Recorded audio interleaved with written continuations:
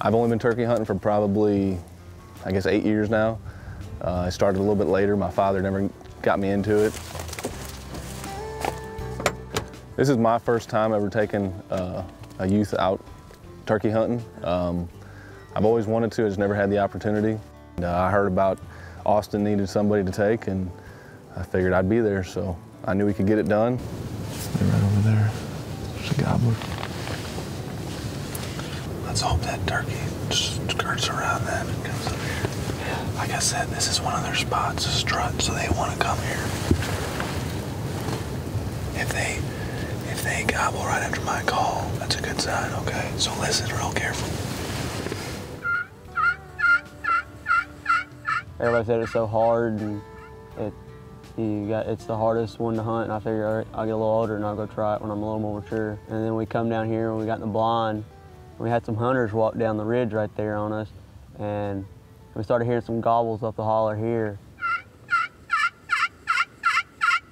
We, we heard some gobbles, but they were a little late. Um, but they seemed to be down in the bottom, just far away. And you know, as a turkey hunter, most people would understand that if you don't hear a bird pretty close, your motivation and your, your excitement's pretty, pretty down in the dumps. Uh, it's not like deer hunting when you just get lucky and hopefully a deer walks by.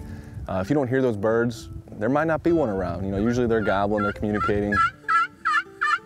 I, I kind of understood because I've kind I've been watching like the outdoorsman TV a lot, just watching on how to how they do it and stuff. I've been trying to watch that kind of stuff.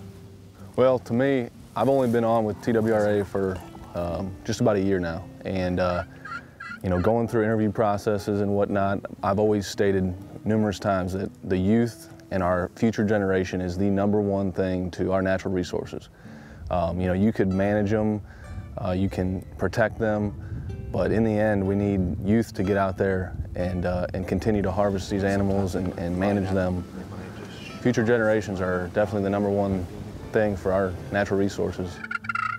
I love photography, I love videography. Um, I've had that camera for years now and I just, I don't have that many opportunities to take it, take it out and, and film other people. I try to do some filming on my own, but it's, it's, it's hard, it's difficult. And, and like you say, I was hunting with the camera.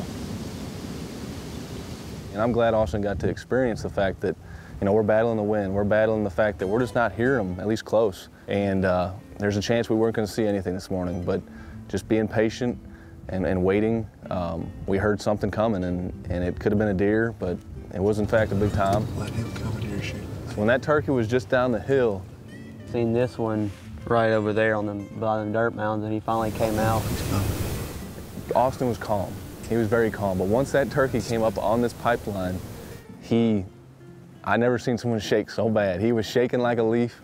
And, but I, I give him so much, you know, he, he did really well because when that turkey was to his left, he could have killed him. He could have shot him all day long. But he was patient. He waited for that bird to come right in front of us. Put it right below his neck. Okay. When you're ready, you kill that turkey. Wait, wait, wait. I gotta take the safety off. Yeah. Just focus on him. Don't look at me. I will say that his, his gun was up for a good three minutes, and that whole three minutes he was shaking like a leaf.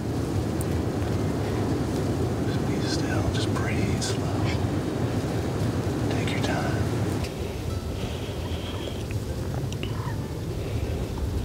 Kill him. Kill him.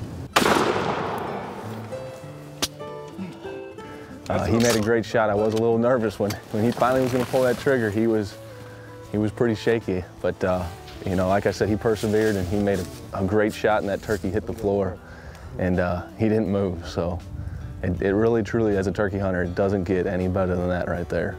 I'm a turkey hunter now for life. Everybody should try this.